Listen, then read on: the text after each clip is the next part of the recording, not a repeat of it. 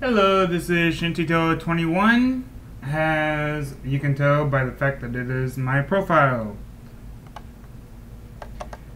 I said Friday I would be uploading a kind of walkthrough for the Ubuntu desktop.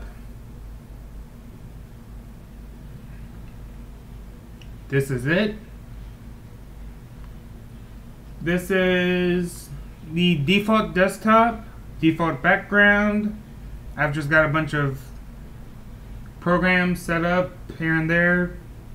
Three pictures that I've used for various reasons, most of which are P. As you can see, it is not like what you'd expect from, say, Windows or Mac. For one, the launcher is off to the left hand side instead of the default bottom for everything else. You cannot change this. There used to be a tweak. However, if, however, Ubuntu removed it directly because that tweak was unstable and would often lead to your system crashing. So Ubuntu just said screw it and removed the whole thing and as far as I know, no one's come up with a better fix.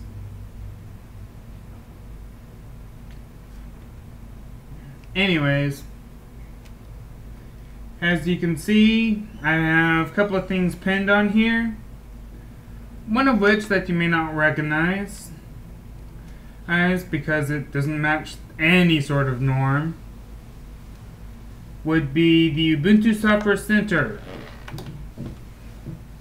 Open that up for y'all.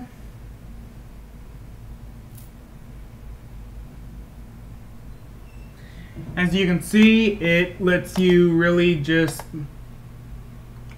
download a lot of various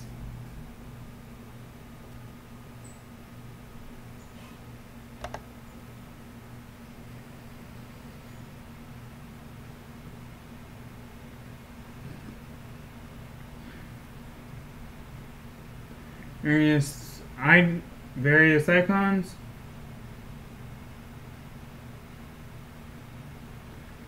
a lot of various his programs, all sorted out into a few categories. Accessories such as a couple of modifications to your terminal, a couple of password managers,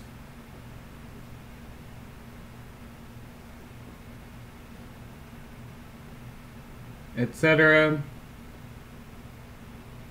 And you get the general idea, right?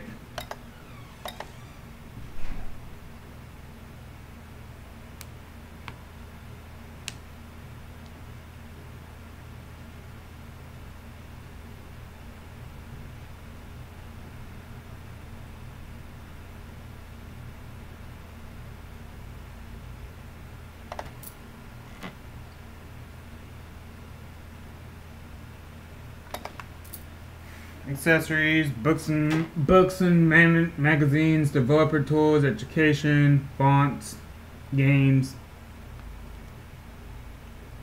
You can also manage what you already have installed. As you can see,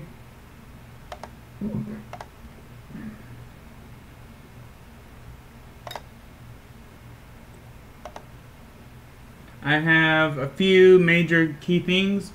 Yes, folks, it does have Steam.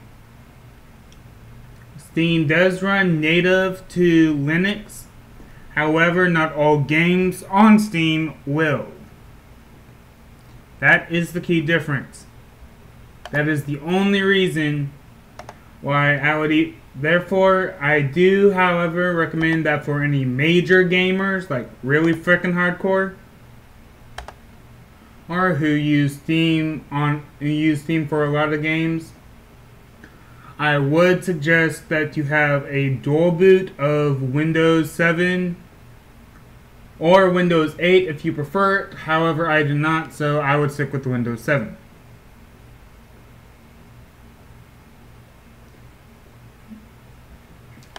Yeah, that's right. I forgot I still had PiTV. Anyways, It does come with some items for universal access, meaning like disability things.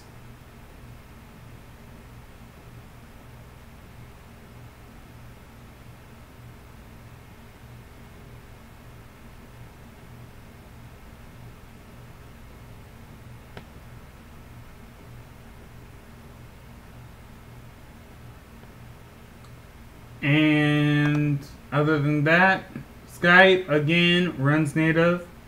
It comes preloaded with a bunch of different goodies such as LibreOffice, Writer, Word, Calc, uh, Excel, Impress, PowerPoint, Math, uh, not sure. Draw, I guess PDF, I don't know.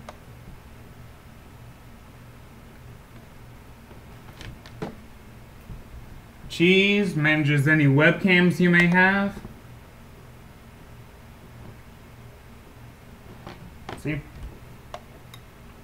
As you can tell, I am running a dual Windows, but because one of them really does not play nice, like at all, when I do that, I decided to only go with a one screen video for the sake of my screen recorder. The thing's laggy as hell.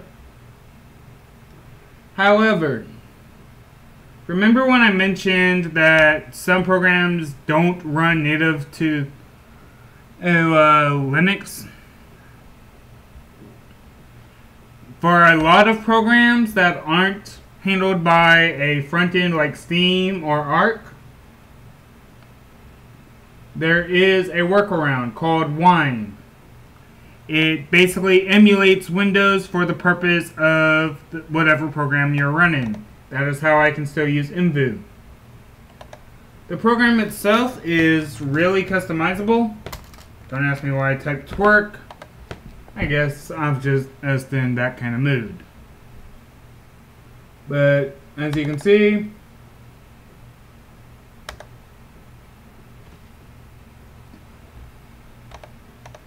I have all this.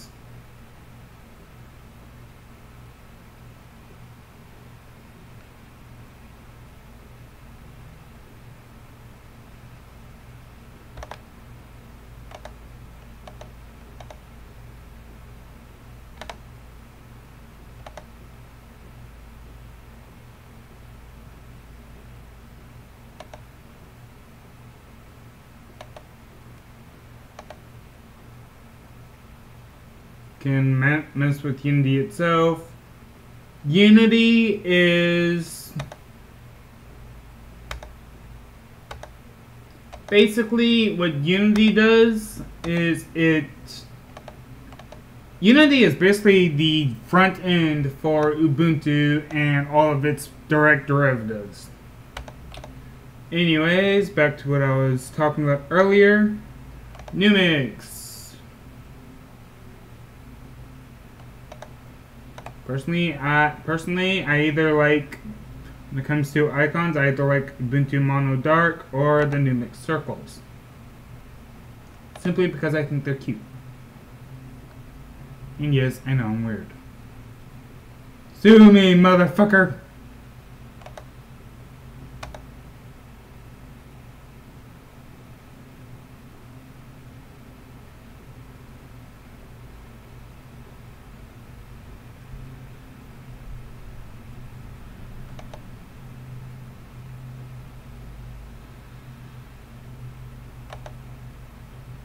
But anyways, you can adjust the cursor.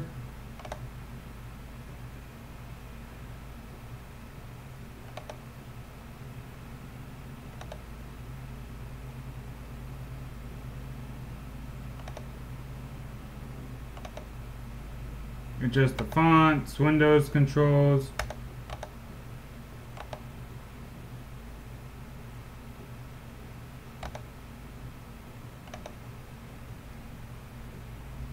all that good stuff.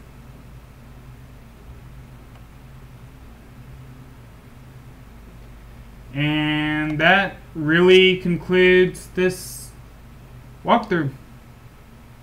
Any questions, comments, send them in the in the comments below.